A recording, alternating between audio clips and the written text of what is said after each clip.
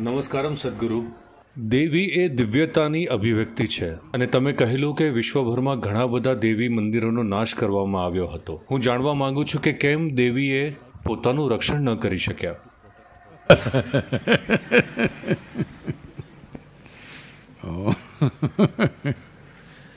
Well, હા? એવું જ હતું. એ હકીકત છે કે કે સ્ત્રી પ્રકૃતિના સ્વરૂપમાં દિવ્યતાની પૂજા ખૂબ જ પ્રચલિત હતી. આજના યુરોપ, અરેબિયા, મધ્ય એશિયા, આ બધી જગ્યાઓએ, પરંતુ એશિયાના માત્ર આ ભાગમાં જ તે જીવંત રહી શકી છે. અન્ય સ્થળોએ તેને ખૂબ હિંસક રીતે જડમૂળમાંથી ઉખેડી નાખવામાં આવી છે. વેલ કદાચ સ્ત્રી પ્રકૃતિની દિવ્યતાને જડમૂળમાંથી ઉખેડી નાખવાનું. વધારે સારા લેખિત પ્રમાણના વૃત્તાંત વિશે તમે જરૂર સાંભળ્યું હશે? તમે જાણો છો વિચ હન્ટિંગ એ શબ્દ પ્રયોગ હજી પણ ચાલી રહ્યો છે. આજે ધારો કે કોઈ વ્યક્તિને અયોગ્ય રીતે હેરાન કરવામાં આવે તો આપણે કહીએ છીએ વિચ હન્ટ આ શબ્દ મધ્યકાલીન સદીઓના ધર્મયુદ્ધના સમયથી ઉપયોગમાં લેવામાં આવે છે. એક અંદાજ પ્રમાણે તેઓએ લગભગ સાઠ લાખ સ્ત્રીઓને જીવતી સળગાવી દીધી. લગભગ દોઢસોથી બસો વર્ષના ગાળામાં તે વિશે મને પૂર્ણ ખાતરી નથી. તે સમયગાળા દરમિયાન, ક્રુસેડના સમયગાળા દરમિયાન, જ્યારે કોઈ ખૂબ મહત્વકાંક્ષાપૂર્વક ધર્મનો ફેલાવો કરી રહ્યું હતું, ત્યારે આવું બન્યું. આ સ્ત્રીઓ, જેમને આ રીતે સળગાવી દેવામાં આવી હતી અને બીજી ગણીને અન્ય કારણોસર, પરંતુ આ બધું આમ જ કોઈને વીજ કે ડાકણનું નામ આપી દો, એટલે બસ લોકો તેને સળગાવી દે. આજે પણ કમનસીબે આ પ્રથા ક્યાંક ને ક્યાંક હજુ મોજૂદ છે. તો આમાં ડાકણ કોણ છે?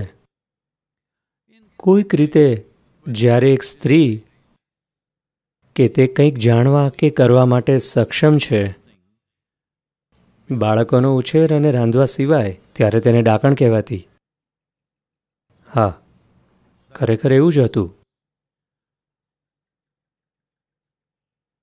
તેથી સામાન્ય રીતે દેવી મંદિરો હંમેશા સ્ત્રીઓને વિકસાવે છે, જે અન્ય વસ્તુઓ માટે સક્ષમ છે. અત્યારે આપણે બૈરાગીની અને દેવી સાધકોની એક નવી સંસ્કૃતિનું સર્જન કરી રહ્યા છીએ. તે પાછળનો વિચાર એ નથી કે લાલ શેતાનો આશ્રમમાં આમ તેમ ક્યાંક ને ક્યાંક ફર્યા કરે.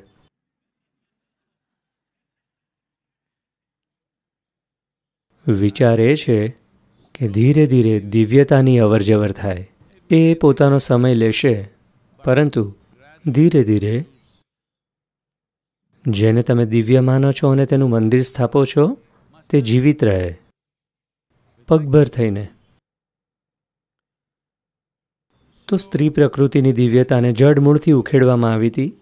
માત્ર એ કારણથી કે એબ્રાહિમિક ધર્મ પ્રક્રિયા એ સંપૂર્ણપણે પુરુષ પ્રધાન છે.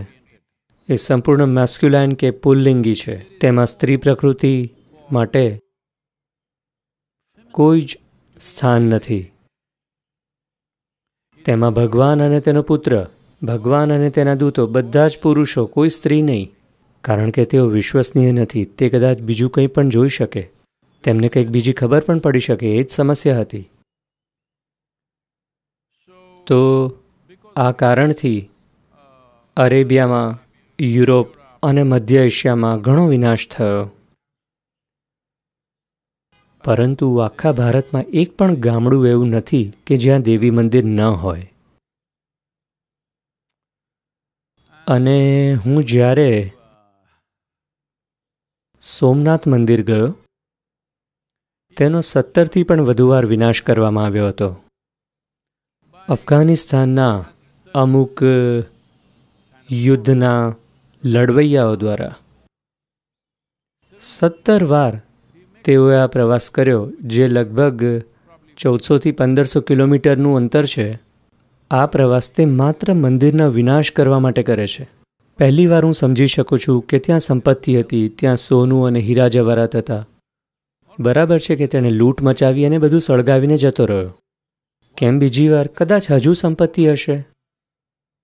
પણ ત્યાર પછી તો કોઈ સંપત્તિ નથી, કારણ કે લોકો નાની વસ્તુઓ આપતા. તેથી મેં પૂછપરછ કરી કે એવું શું હતું કે કેમ એ સત્તર વાર આવ્યો? વાત એ હતી કે એ ત્રણ દેવીઓ જેની અરેબિયામાં તેઓ વાત કરે છે, ઇસ્લામ પૂર્વના કાળમાં, તેમાંની કોઈ એક દેવીને, તેની મૂર્તિને, ત્યાંથી લાવીને શિવના સાથી તરીકે સોમનાથ મંદિરમાં તેની સ્થાપના કરી હતી. તો તેઓ આ દેવીનો વિનાશ કરવા માગતા હતા. તો આ માણસ ઘોડા પર બેસીને તેરસોથી ચૌદસો કિલોમીટર સત્તર વાર પ્રવાસ કરે છે. દેવીનો વિનાશ કરવા. એટલા માટે આ વિશ્વમાં એક સ્ત્રીનો વિનાશ કરવો એટલો મહત્વપૂર્ણ છે. એ કામ એટલું મહત્વનું છે.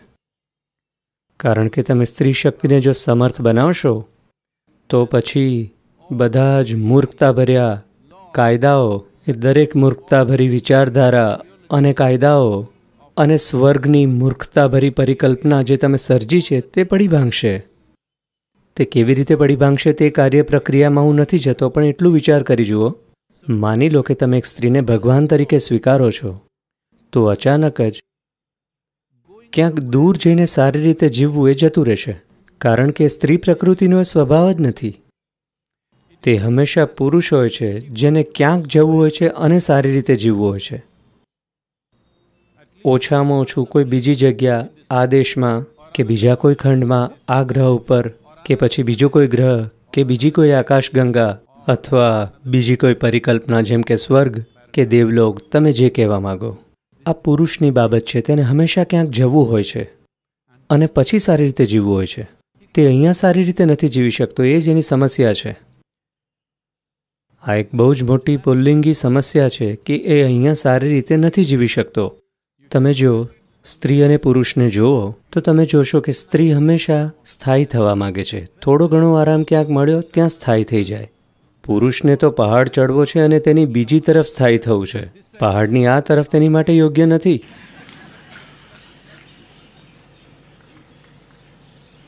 તેથી, જો તમે પુરુષ અને સ્ત્રીના સ્વરૂપમાં ભગવાન બનાવશો અને તેઓ શિવ અને પાર્વતીની જેમ જો રહેશે, તો તમારે બીજે ક્યાંય જવાની જરૂર જ નથી.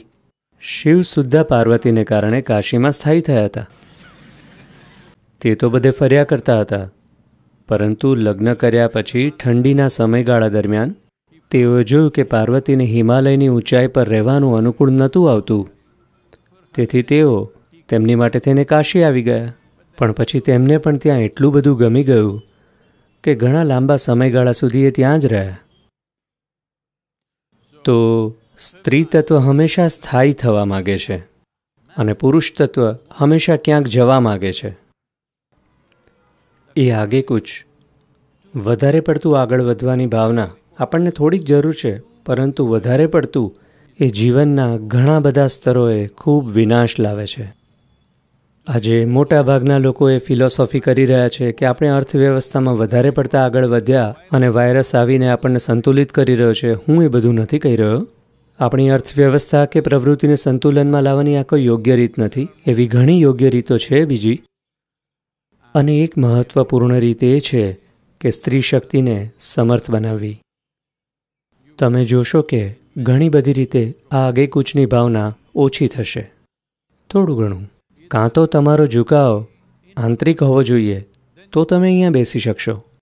અથવા પછી કોઈક રીતે તમે સ્ત્રી સાથે બંધાયેલા રહો, તો તમે અહીં બેસશો. બાકી પછી તો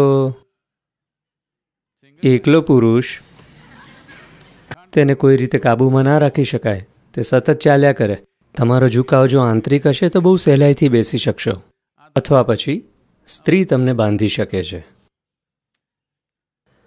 ઘણી બધી રીતે અર્થતંત્ર કે ગ્રહનો વિનાશ હજી સુધી એ બિંદુ સુધી નથી પહોંચ્યો જ્યાંથી તેને પાછો ન લાવી શકાય કારણ કે મોટાભાગના પુરુષોને હજી પણ સ્ત્રીની જરૂર છે. ઘણા ઓછા પુરુષો છે જે સ્ત્રી વગર રહી શકે છે.